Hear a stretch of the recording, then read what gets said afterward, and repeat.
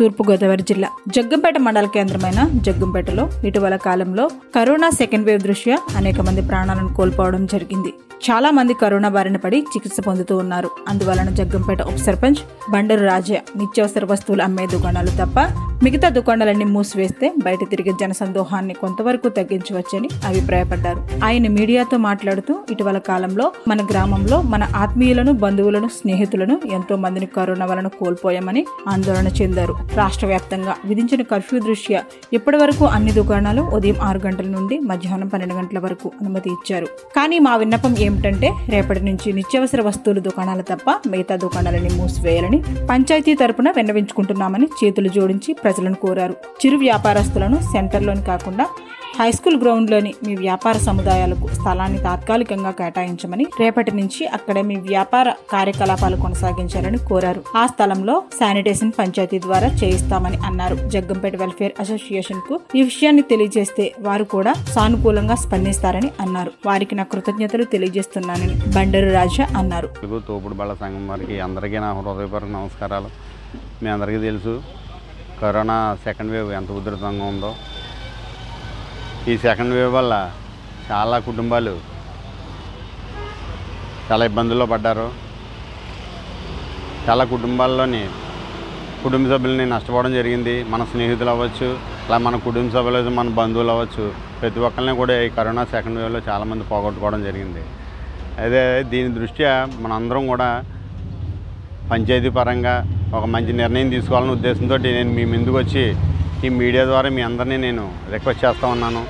ఎందుకంటే ప్రభుత్వం వారు ఉదయం ఆరు గంటల నుంచి పన్నెండు గంటల వరకు లాక్డౌన్ పెట్టడం జరిగింది. అయితే మనం కొన్ని వెసులుబాట్లు ఇచ్చుకుంటూ ఈ లాక్డౌన్ అన్నది అంటే అన్ని వ్యాపారాలు కాకుండా మన నిత్యావసరాలకు సంబంధించి ఆ కిరాణా కానీ కూరగాయలు కానీ అలాగే పాల పాల వస్తువులు ఆ మెడికల్ షాప్స్ ఇవి ఉంచి మిగతా ఇప్పుడు అవసరం లేని షాపులన్నీ కూడా మనం బంద్ చేయగలిగితే ఖచ్చితంగా ఈ కరోనా సెకండ్ వేవ్ని మనం అడ్డుకోవడం మన వల్ల సాధ్యం అవుతుంది.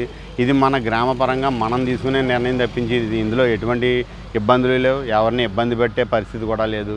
నేను నేను పంచాయతీ వైస్ ఉప సర్పంచ్గా మిమ్మల్ని అందరినీ రిక్వెస్ట్ చేసేదంటే నేను అంటే నేను రిక్వెస్ట్ చేస్తూ ఉన్నాను మీ అందరినీ అంటే మన గ్రామాన్ని మనం కాపాడుకుందాం మన కుటుంబ సభ్యులను మనం కాపాడుకుందాం. తద్వారా ఈ కరోనా ఏదైతే ఉందో దాన్ని జయించి రాబోయే రోజుల్లో ఇంకా మనం చాలా ఫేస్ చేయవలసినవి ఉన్నాయి. మన కుటుంబ మన బరువు బాధ్యత మన కుటుంబ బరువు బాధ్యతలు అవుతాయేంటి లేకపోతే మన స్నేహితుల మధ్య బంధాలు అయితే ఇవన్నీ కూడా మనం ఉంచుకుని ముందుకెళ్ళవలసిన పరిస్థితులు ఉన్నాయి కాబట్టి దీన్ని మనం ఇంతటితో ఆపగలిగితే ఏదైతే ఈ కరోనా ఉధృతి ఉందో ఈ లాక్డౌన్ వల్ల ఈ షాపులు ఎప్పుడైతే మనం బంద్ చేస్తాం ఈ లాక్డౌన్ వల్ల ఈ మనం కరోనాని కొంచెం అడ్డుకట్ట వేయచ్చని చెప్పేసి నేను కోరుకుంటా ఉన్నాను. ఇది ఒక నా యొక్క విన్నపం. మీరందరూ కూడా దీన్ని సవినయంగా స్వీకరించి పెద్ద మనసు అంగీకరిస్తారని చెప్పేసి హృదయపూర్వకంగా తెలుసుకుంటూ తెలియజేసుకుంటా ఉన్నాను. అలాగే ఈ ఎవరైతే చిరు వ్యాపారస్తులు ఉన్నారో వారందరికీ కూడా పంచాయతీ పరంగా హై స్కూల్ గ్రౌండ్లో స్థలం ఇవ్వడం జరిగింది.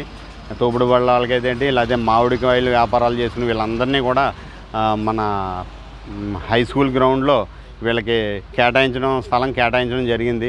ఆ కేటాయించిన స్థలంలో వారు అమ్ముకోవడం వల్ల అది ఎవరికి ఎలాంటి ఇబ్బంది ఉండదు.